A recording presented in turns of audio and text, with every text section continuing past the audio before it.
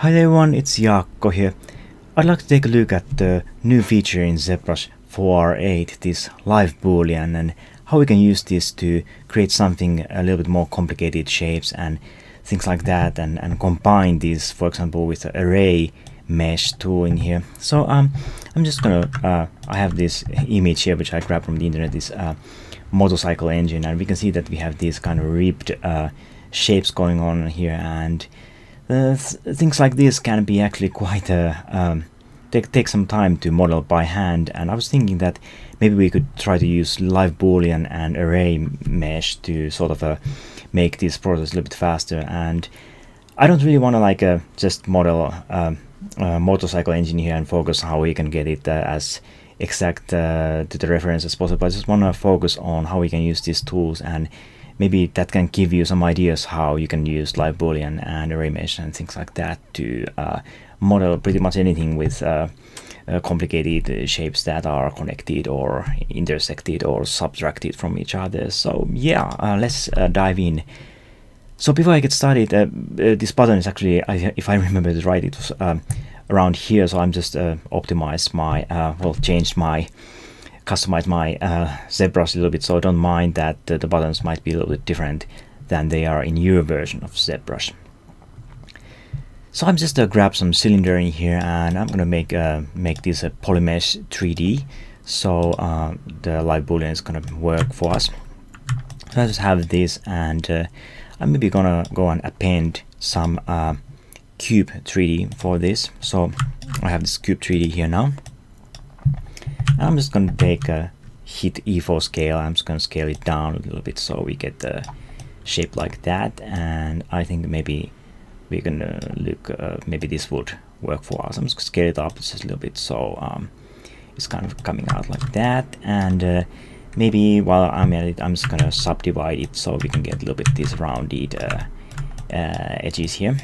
Those, those rounded corners, I mean. Um, I'm just gonna maybe move this up a little bit and then uh, we have this array mesh in here. I'm just gonna get in here. I'm gonna uh, click array mesh to activate it and uh, we have this offset in here and we can see that we have this is the y-axis so I'm just gonna um, get into uh, y amount so we can see that uh, we are now uh, uh, offsetting it so it's um, offsetting it on or now I'm just gonna maybe put it here and we can do this repeat so we can uh, add a bunch of more things. We can maybe um, adjust again this uh, Y amount so we can come up with something like that and it's pretty easy to understand how this stuff works. It's not a very complicated at all so um, maybe something like that could uh, resemble a motorcycle engine. I'm not quite sure uh, if it does but uh, you know anyway uh, for anyway the point is that uh, I just want to uh,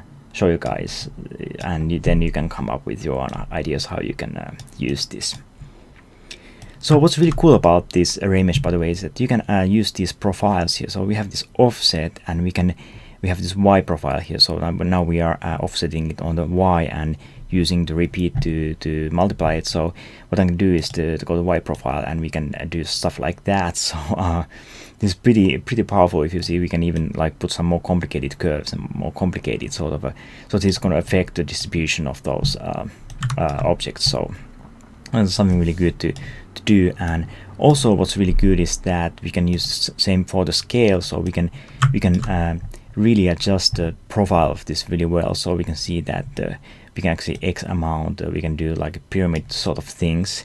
So this could be really good for make some futuristic buildings, for example, you know, you could do that. And again, we have this profile here. So I'm just going to go here and do like that. So you can see that, uh, uh, yeah, uh, I think this kind of shapes are actually, sometimes I've seen these in motorcycle engines. So, so this could, we could probably uh, maybe try to, I don't know, use this. Um, and and we can even like go really in detail here and really just uh, go wild in here to uh, to really you know tweak it really well. And it's it's way way easier than than you know getting there and try to duplicate those uh, individual plates by hand or something like that. It's yuck. I'm not very interested about doing that. So so yeah um, very uh, powerful things this uh, scale. And the same thing is for the rotate so if you again if you're doing some futuristic buildings this might actually be really interesting. So you know we could for example do something like uh, um, something like that you know um, uh, do this thing you know it's, it's mm, I'm really big fan of array mesh it, it, it's um, such a good thing. So yeah. So uh, maybe I'm just gonna get in back in here and do this a little bit this um, scale I'm going to uh, adjust this um, X amount just a little bit so we get a little bit of this um, uh, more uh, interesting shapes here and maybe go to um, I would think that maybe um, I could go to the Z and uh, maybe uh, adjust it just a little bit so we get uh, something like that in here. So we have a, a little bit of like this. It's not just uniformly going up to down and and yeah uh, so this could be um, good start for our uh, um, engine. And then um, you can sometimes see that in engines and you have this uh, sort of like a you can see that these uh, cylinders are actually uh, cutting. So these are sort of cut from this area and then these are pushing in and and so on. And and sometimes there's some something else like some bolts that uh, have just dig into this. So uh, I'm just gonna go in here and append um, I think I'm gonna append a new cube 3D in here. And I'm just gonna select that. I'm just gonna move this guy out a little bit here.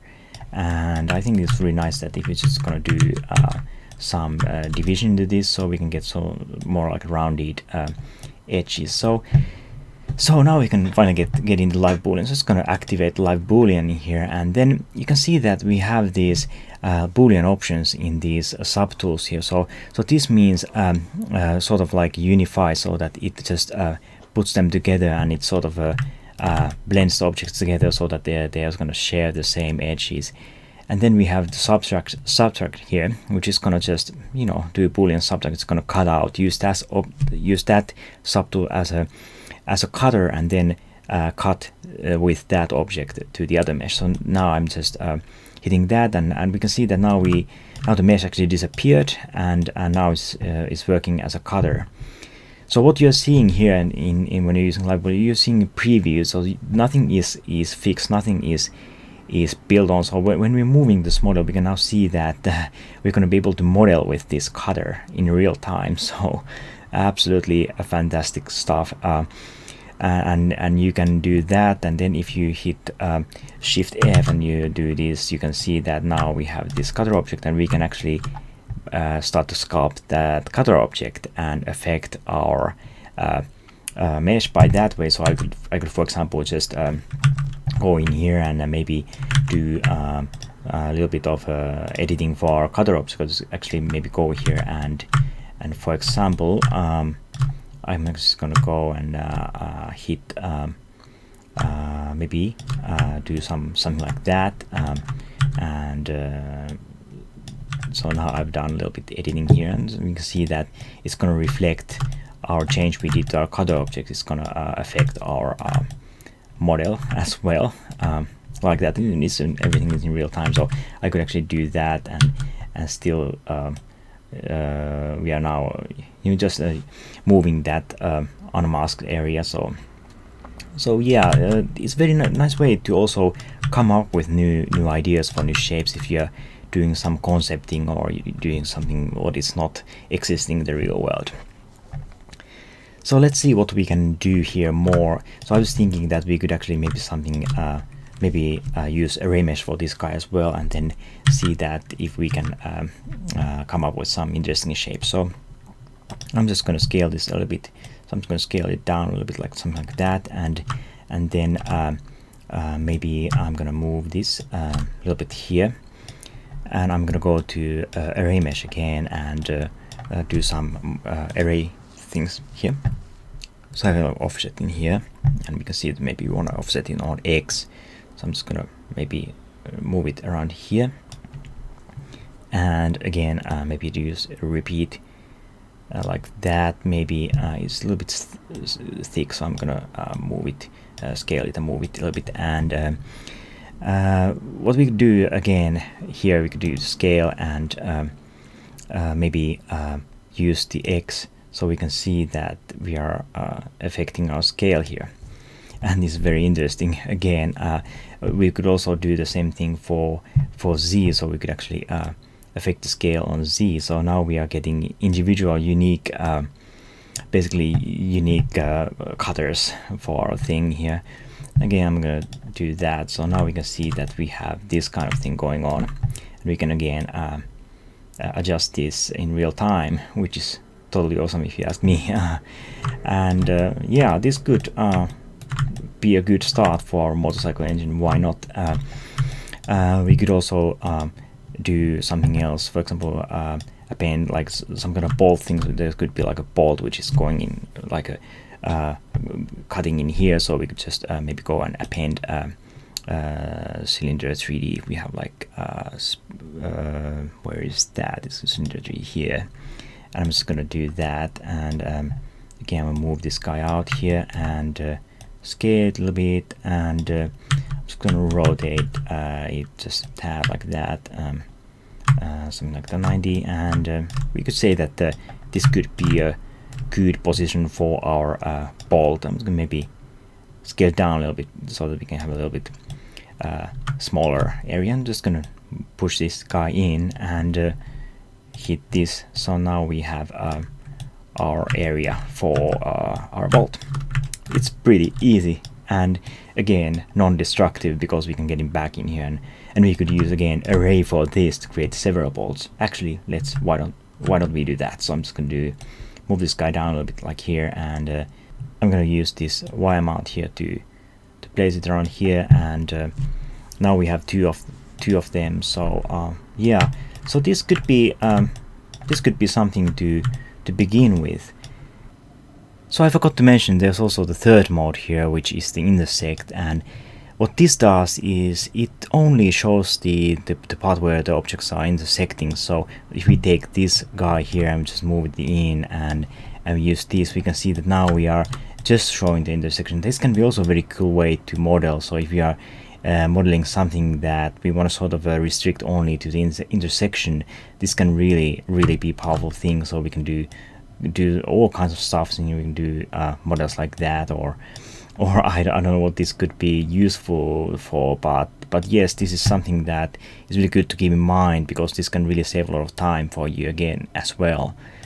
So you can see that we have these arrow things in here. You might wonder what does it mean? So so what does this mean is that this allow us to group our live boolean uh, subtools in a group. So so by doing that after you are finished and you go and uh, uh, you go to a boolean here and you go and uh, make boolean mesh this is going to allow you to to separate them in separate subtools. So after you uh, group them like that so for example here we can say that uh, we want these two guys we want this one and then um, then we want this one to be the same as subtool. So now we have this this one group which is beginning here and then we can do another group in here which is say that this one and this one is going to be their own separate subtool. So it's a really cool way to and really useful way to to sort of uh, arrange your uh, meshes that if you want some something to sort of blend together and then you don't want others to blend together so you don't want everything to be uh, one uh, unified uh, one subtool you can just uh, quickly organize them by using these so so I think we are looking pretty decent here. So let's take a look what we can do then to to really create our actual mesh because still uh, at this point we are just looking at the preview uh, at the, which is uh, done in the render time so nothing is is really actual real geometry. So, if I'm gonna get in here and maybe just adjust this a little bit so we can get uh, this thing. So when you're when you're finished with your boolean live boolean uh, operation and you you just want to bake that into into real actual geometry you just get in here and make boolean mesh. So so this will then uh, create a new tool for us to to to continue our work or may finish it or something like that. So here we are. This is our actual um, actual geometry and uh, it looks pretty uh, it looks pretty good if you ask me. I think everything is just uh, uh, welded together like they should and and you can see that you have a lot of triangles and things like that. So well that's to be expected when dealing with booleans of course. So so the the main thing is it works. Uh, there's no errors. Uh, it does work um, pretty much perfectly. So then from here on you could uh, do many things. So you could, for example, uh, retop this, or you could use um, uh, something like a mesh, or you could uh, use uh, also Dynamesh to this, uh, and Dynamesh combined with uh, poly edge polish and those things uh, could be really useful. So, so yes, a live boolean in ZBrush is a really, really nice and useful way to to to do all kinds of things for hard surfaces, but but not only hard, hard surfaces, this could be used for, for pretty much anything. Uh, so yeah, I hope you enjoyed this look at Live Boolean and Array Mesh uh, for doing uh, uh, objects like this. And uh, yeah, please subscribe to my channel. It would be great to to see you around. And please leave a comment if you have uh, any ideas how you're using uh, Live Boolean and what you can come up with this. So yeah, absolutely hope to see you guys around. thanks for watching and I'll see you soon. This was Jaakko. Bye bye.